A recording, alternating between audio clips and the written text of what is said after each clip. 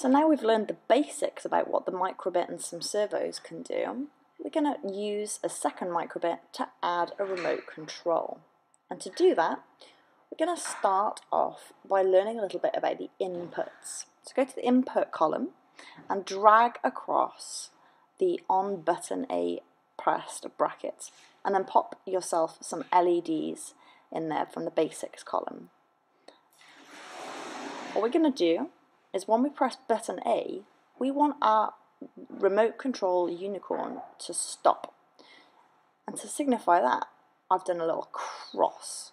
So when you press A and B here, it's going to come up with a cross picture. Now, the next thing we want to do is start to move forwards. So the microbit inside it has a little accelerometer that can tell if you're shaking it. So what we're going to do is drag across and on shake and then I'm going to put some LEDs to, with a, an arrow that shows going forward. Next, we're going to drag over another input. Now you see it greys out. That's because we've already used shake. So we're going to press the little arrow next to it, and we're going to choose logo up.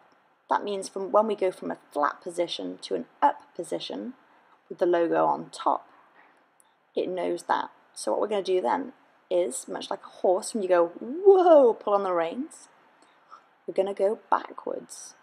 Here we are. So shaking the reins, it's going to go forwards. And going, whoa, and pulling the reins up is going to go backwards. So next, we've got left, which is tilt left. I'm going to put some LEDs in to signify going left. And you've guessed it, I'm going to make an arrow showing an arrow going left. Uh, but you can put your own animations in if you like, or different, different pictures. And then finally, last input on tilt right. There we go. We're going to do an LED arrow going right. Now obviously these are just showing the LEDs. These aren't actually controlling anything at the moment. They're just pictorial representations of what we're going to make the other microbit do on board the unicorn. This is going to be the remote control that you're going to hold in your hand. So, what we're going to do is send the signal over using radio. Okay? So the first thing we're going to do is pull over from the radio to radio send number. And we're going to do that for each of the commands. So button A, B pressed, it's going to send the radio number 0. Now, we're going to change the on shake. If we shake it, it's going to send the number 1. You see what's happening here. On logo up, that's going backwards, we're going to radio send number 2 going left, number three,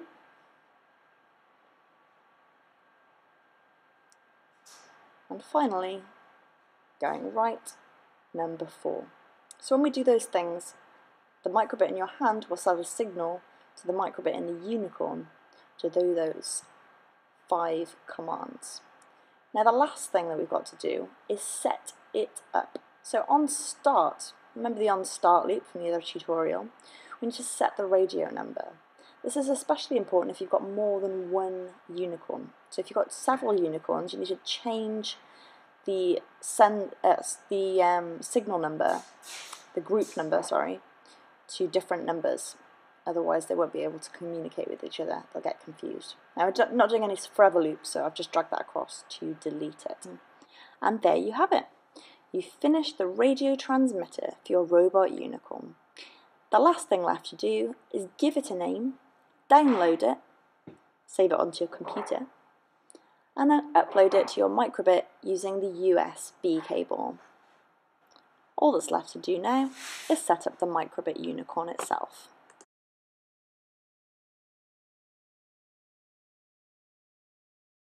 So the first thing to code for the microbit on board the robot unicorn is to set the radio group as the same group that your controller is sending. So in our other piece of code, we set it at group 1. We also need to make sure that our robot unicorn starts off by standing still. So what we're going to do is we're going to create a variable. This variable is going to correspond to the number that our remote control has sent to it. We're going to call it received, all right? And that's going to be set to zero, which is the number for stop. Then we're going to go to the radio column and drag across on radio received, received number, and we're going to insert a variable in there too. So we're going to drag across set item to, and then change item to received. And then finally, we're going to drag over received number. So what this is doing is just setting the number that the radio has received to the number that corresponds to the command that our robot is doing. Alright, so that's our setup complete. Now we just have to set what each of the commands do. And we're going to use a little piece of logic to do that. So logic is just a way of helping a computer understand what it needs to do. And they're often called if-else statements.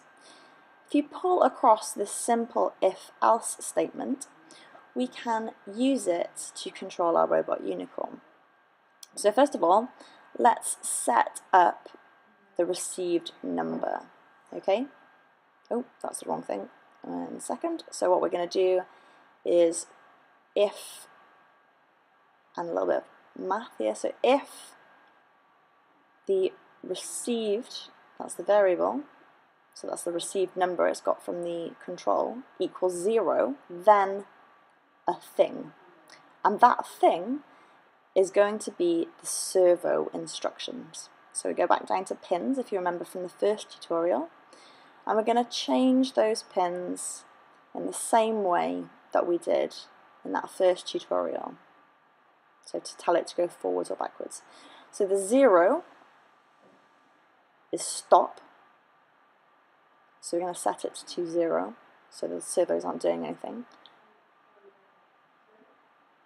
And we're going to do the same for the other pin. So both of the wheels will be at a standstill. Then we're going to add in the extra commands. And in order to have the space to do that, we're going to have to click on this little cog. And you see on the right hand side there, it's got if else.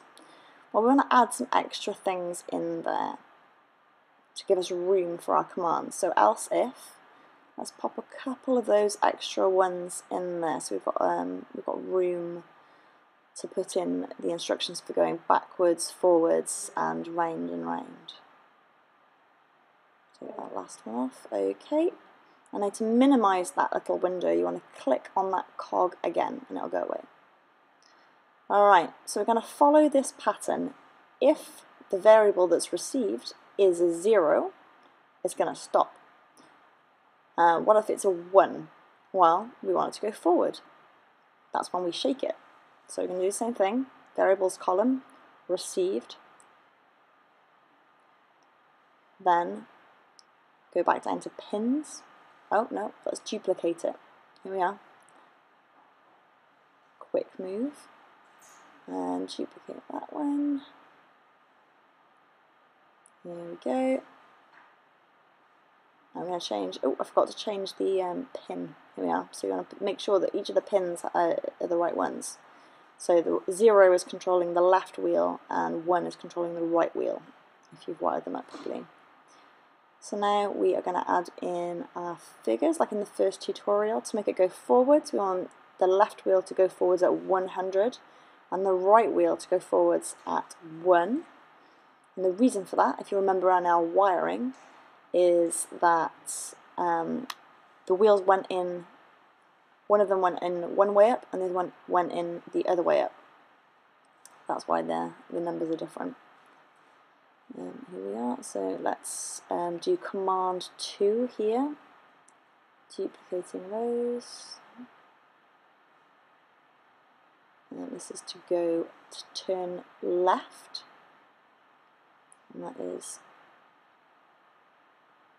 oh no, this is going backwards, sorry. Command 2 is going backwards. So we're doing that. Um, just the same as 1, but opposite. So 10, 100. Um, and if you find that when you upload this code that you've actually wired the pins up wrongly, don't worry about it. You can either switch the pins around, so switch the crocodile clips on pin 1 and pin 2, or you can just flip the code around um, in the in the code editor. It's up to you.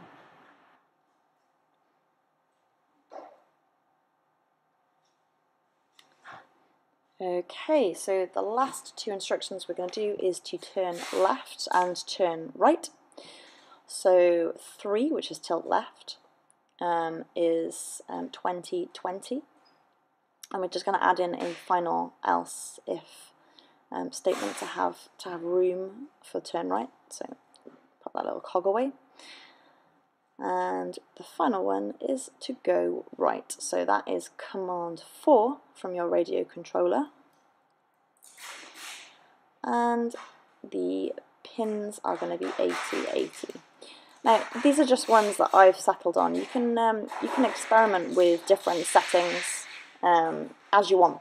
Um, I just particularly like this one because one of them goes really slowly and one of them goes really quickly and I think it looks a bit like a pirouette, which makes me laugh so um, that's why I did it. But yeah, have a play around with your own settings. And of course, you can change your radio control um, to do different gestures as well. That's totally up to you.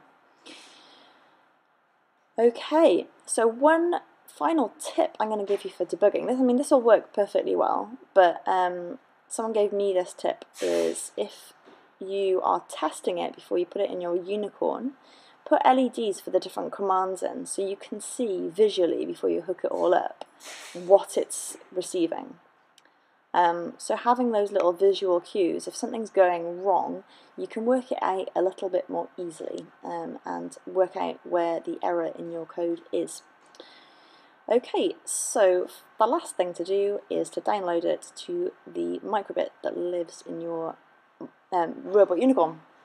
So give it a good name, uh, download it to your machine and upload it the normal way using your USB plug to your Unicorn.